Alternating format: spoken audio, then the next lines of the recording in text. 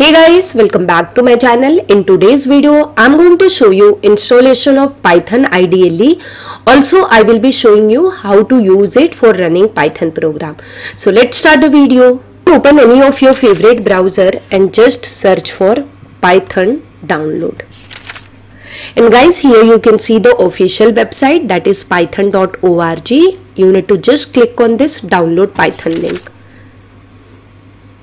it will redirect you to download page of python and here you can see the current release of python that is python 3.11.3 you need to just click on this download python button if you want to install it for windows.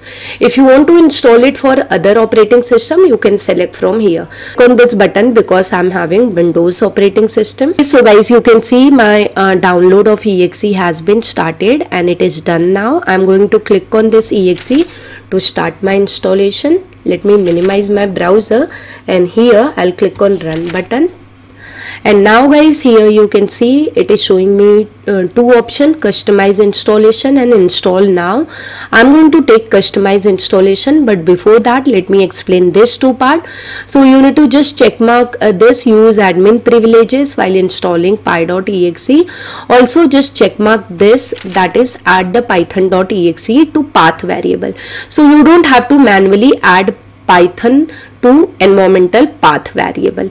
Okay now guys click on this customize installation button and here it is showing different optional feature that is documentation pip and uh, idle so these are the feature which will be installed along with your python. Pip is one of the important uh, download which is useful for installing python packages. Okay so uh, i'm keeping everything default and i'm going to click on next button. And then guys under advanced option. I'm going to tick mark on this option. Install python 3.11 for all users. So whoever is user of my system for everyone python will be installed. If you don't want it to be done for all the user you can deselect this. And guys this is going to be the location of python. So c colon program files python 311 i need to just click on this install button. Okay now here it is asking me permission so i'm going to click on yes button guys my installation has been started. It will take a while so we will wait. Okay guys so my setup is successful. Now i'm going to click on this close button. And now after this let's verify the installation. So for that let's start the cmd so in search just type cmd guys here we are going to verify the version. So for that i python space hyphen hyphen version and here I'm going to hit enter. So guys you can see it is showing me Python 3.11.3 you can verify PIP version or space hyphen hyphen version. So it is showing me pip 22.3.1 so guys now uh, let's run one simple program and show you. There are other ways also to verify. You can start the IDLE and check through that also. So just type py it has taken you to python. Now here you can type any statement. I'm just typing simple statement. So my statement is going to be welcome. Okay and let's hit enter. So guys it is showing me message welcome.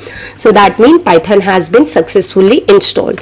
Now this is one way you can verify installation. Now i'm closing this command prompt and i'm opening idle so just type idle over here and you can see this idle python 3.11 64 bit. Just click on this app it has started my uh, python idle shell. So now here i'm going to type again a print command. So here also you can type your command. This is shell which will run your code. So now here i'm typing thanks for watching. This is my command. I'm going to hit enter. And guys you can see the output.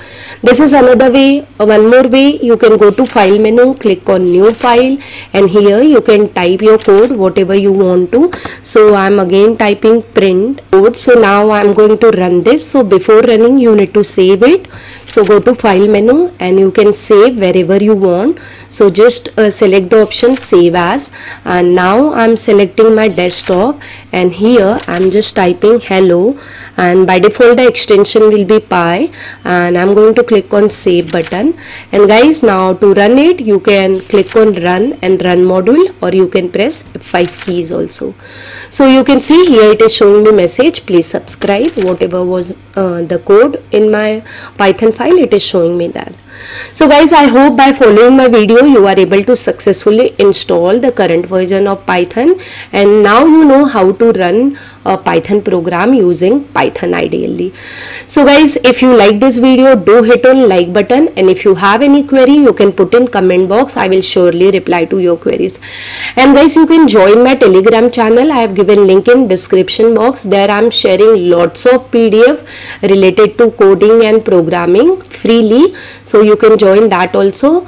And if you are new to my channel please subscribe to my channel. Thank you guys for watching my video till then i'll see you in my next video. Till that bye bye and take care